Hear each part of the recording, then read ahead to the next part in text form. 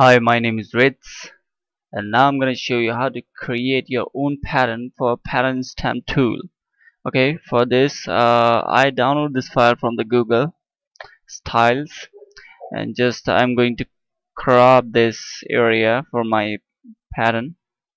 Okay, hit the enter and just go to the edit and for creating your own pattern you have to define it okay just hit the define pattern button and just uh, type it here name tile. Hit ok. Just uh, take a new file for showing you what it is and how it look. Okay here's the new tile our new tile pattern and just brush it.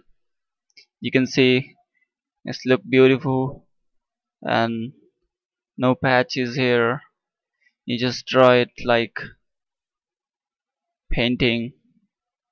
It's very cool. It's very useful for 3D artists also or artists. Okay guys thank you so much for watching this video. Hope you like this.